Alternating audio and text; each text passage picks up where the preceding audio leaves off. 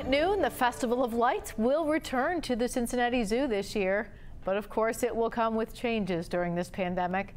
One of the big changes, reservations will be required, but we're told zoo members won't need a reservation from 7.30 to 8.30 only from November 23rd through December 17th.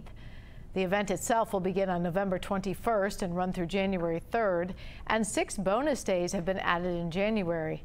This is video provided by the zoo. Keep in mind masks are required inside buildings and in congested outdoor areas such as Gorilla World. We do have a link to reservation information. It's at local12.com.